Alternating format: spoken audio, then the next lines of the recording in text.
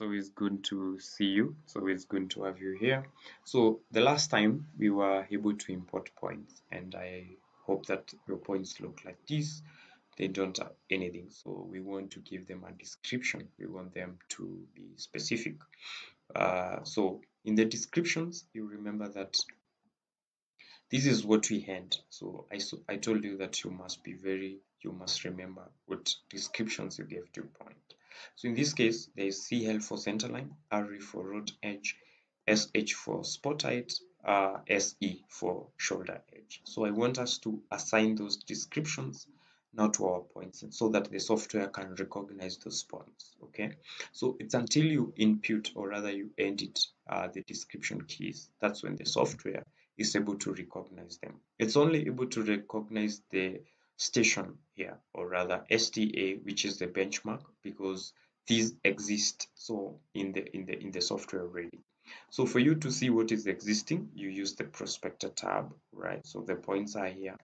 Uh, so for example if you wanted uh, uh, you want to know your points to edit you know to select for example you can select all the points at a go if you want to delete them you can delete if you want to edit them can always edit them from here. So for example maybe you want to edit the elevations of your point right? You can always edit them. You just right? Click right that was not the uh, objective of this session. So what's the objective? The objective is, of this session is to help you now uh, apply the descriptions that you have in your Excel sheet, you apply them in the software so that the software can recognize the points. That makes it easy for you to work in the workspace. Let's dive in.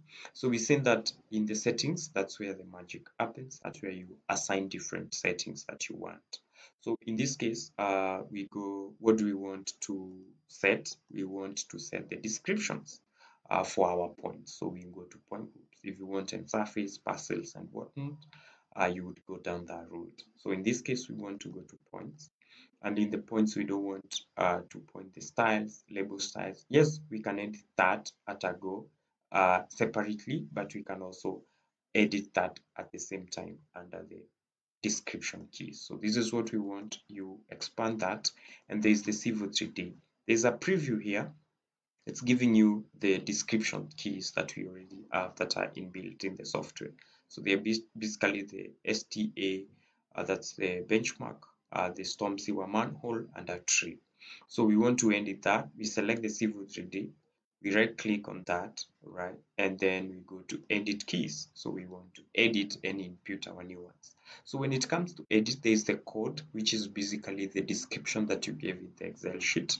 Then there's the style, how you want them to show, the marker.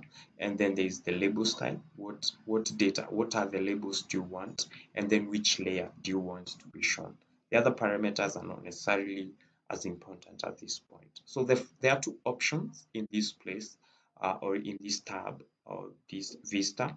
And the first one is you can create directly as a new one. So you select the existing and then press new and then you can see it has been called new description key. So I want us to create for center line. So we use the same code CL caps. Remember, if it was caps, it must be caps. Then here you must check, you must select this for you to be able to edit in the style. So in the style, you can select all the pre-existing one, but I cannot see, I want mine to be a little unique. So I select this drop down and create new.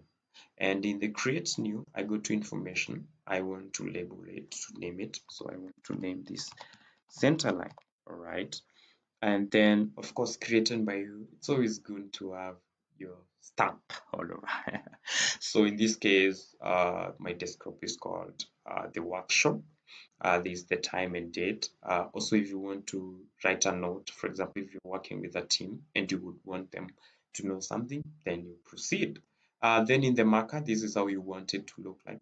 Uh, so in this case, my center line, I want it to be the circle and a cross. That's good enough, right? Then the scale, always use the scale drawing. There's no need to have a fixed scale so that if you change the scale of the drawing, then it can adjust. So for example, uh, scale drawing here. My scale drawing is 1 is to 1000, right? and then of course you go to mm this is if you want something bigger you can edit that but i don't want that for now then in the display there's this visibility so in the plan it will be visible uh let's see in the model it will not be visible and i would want it to be visible right uh, in the profile it's only the marker that is visible uh, in section views I don't actually want my points to be visible in the section views, right? So in the layer, you, you have two options. You can change the layer from this point. So all you need is to just click at this point and then you can adjust. If you have a layer that is existing, uh, you can always select it here, but I, I want, uh, yes, let us just, we cannot select at this point. We can create a new one. So in this case, I want to call it center line. So want to create one. Uh i want my color to be cyan all right? Okay right. Uh this one not necessary at this point. I press ok and then press ok right? And when it comes to color now i would want it I, I can select the color directly but also i can select it to be by layer and then it selects cyan directly and then press. Okay so that will be by marker right? And then sorry I want it in the model right? In the model I of course by uh, by layer.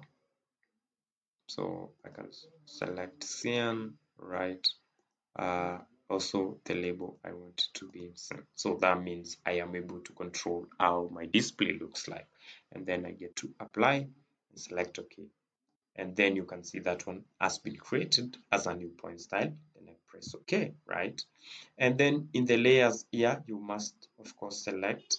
And then I, I click here. And then I will go down and look for center line that I already created in the previous uh, step all right so my center line is here press ok and then we are good. So the second option is to copy. Oh sorry before we, we select that there is the point label style.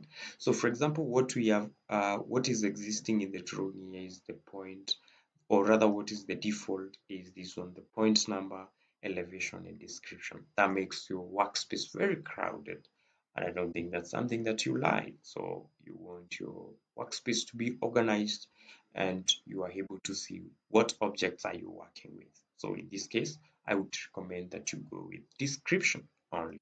So description only will suffice at this point. Right so that is the first procedure of assigning description keys and then the second one is you can copy what you've already created and you just edit a few elements so we just right click this and then uh, you select cl you right click and uh, you right click and then copy so in this case I want to, the first copy, I want it to be the root edge, right? And then the style for the marker, I don't want it to be the center line. I want it to be standard. So this is, I'm showing you how you can select from the pre-existing one. So just the standard.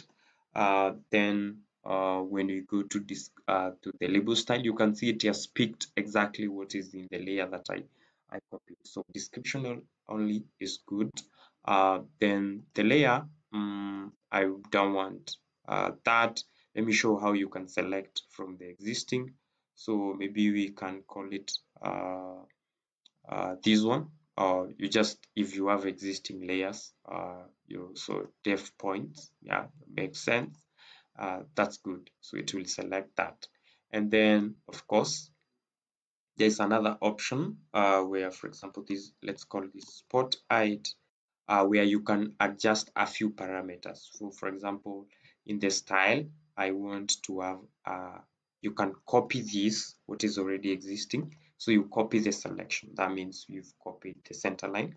And then we want to call it uh, spot height. So, so the spot height helps us. These are just random points that help us to create a very good surface. And then we go to the marker I don't want it to be this way. I want my spot height to be just uh, across, uh, just across, uh, across is a square.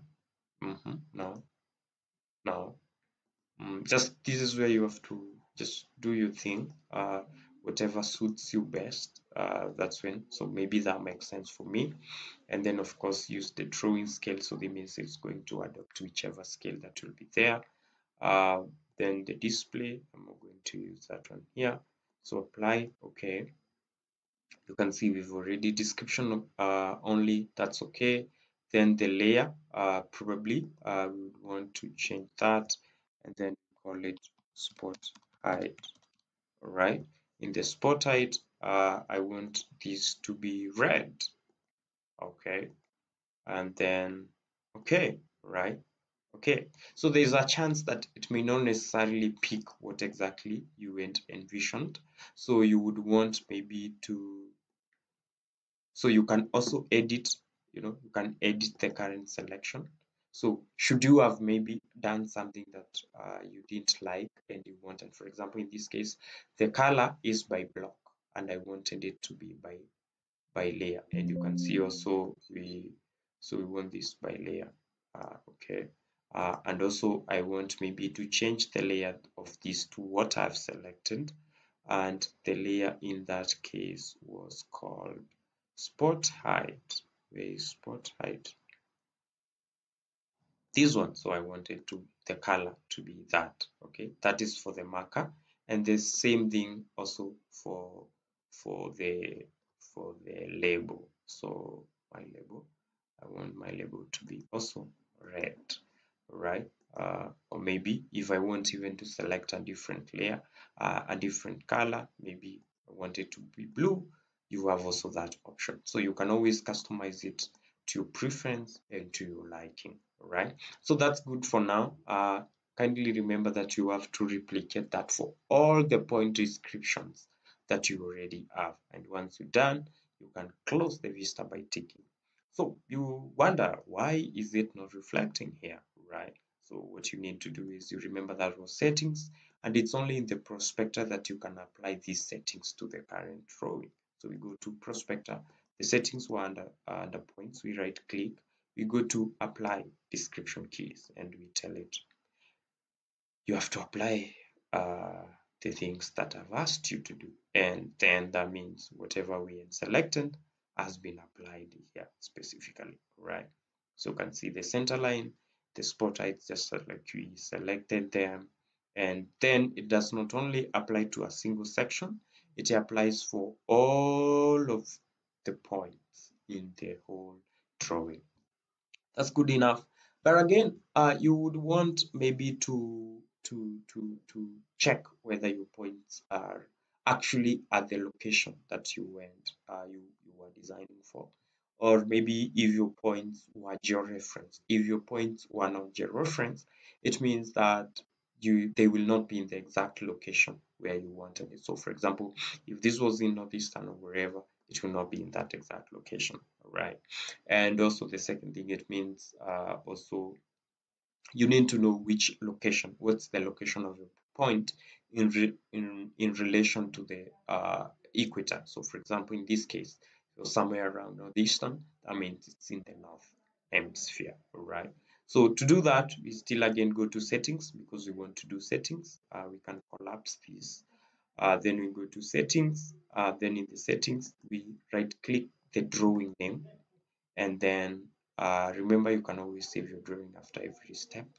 So edit drawing settings right? And once we do that we change the units and zone so uh, and also the scale.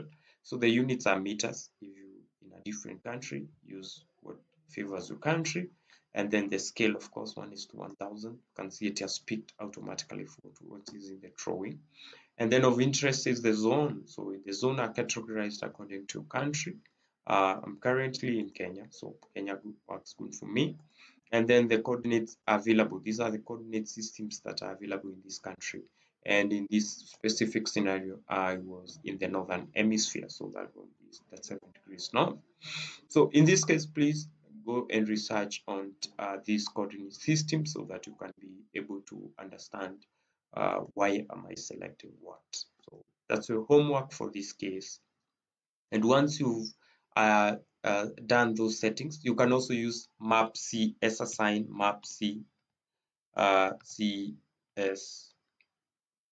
Yeah map cs assign uh, this one. It also assigns the global coordinate system uh, for the current drawing so if you don't want to go the long way you can use that map cs assign right? And then you follow the prompts. But in this case i'm old school. So after that you go to the geolocation this is the tab that pops. It only appears after you've allocated the right coordinate system. So you can select that and then there's a contextual ribbon that pops. Uh, there are uh, there are a few uh, panels here but in this case I want the online maps. In the online maps I want to use the hybrid. You can see it is turned off so that's why you can see the workspace. But once I turn the map hybrid section then boom you know I can actually visualize and see yeah this is my project. It's along this specific road and the spotlights are here within the road reserve. The center line is actually within the center line of the existing road you know does it just that and that means then you're good. Another key thing is you can always work from here. You can work from here. You can work if you want to. Uh, you can select these you know you just do connect all of these points. You can get to connect them all of them all of them right? Uh, that way and then you'll be good enough.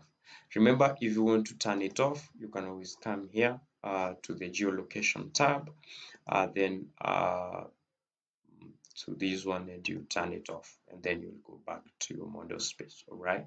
Also remember that you can always turn this on at every stage of your design when you've even created your corridor to see whether it fits exactly within your road reserve. That's it for me gentlemen. I hope you enjoyed this and i hope you're going to apply this in your drawing. Should you have any questions drop it down here and i am going to respond and help whenever I can. Cheers!